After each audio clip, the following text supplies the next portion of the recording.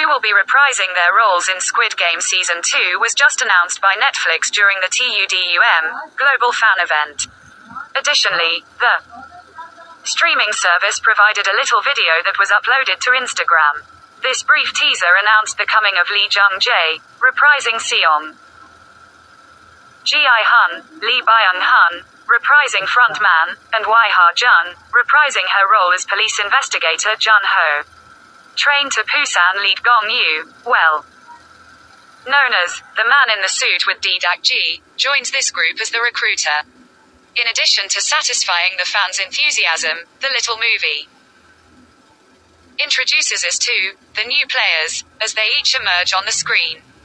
Yim Si Wan, the star of Unlocked, is presented first, followed by Kang. Ha Neul, Park Sung Hoon, and Yang Dong Geun. As of the time this article was written, Netflix has not yet disclosed the identities of the new cast members. The fans were wise to draw attention to the lack of any female members of the casting crew despite their rising excitement over the fresh casting announcements. In response to criticism, Netflix reassures viewers that the main ladies of season 2 will be revealed in the future. This was the first cast announcement for Squid Game Season 2, a Netflix spokeswoman informed Insider. Soon, we'll have more casting news to offer, including information on the main female characters.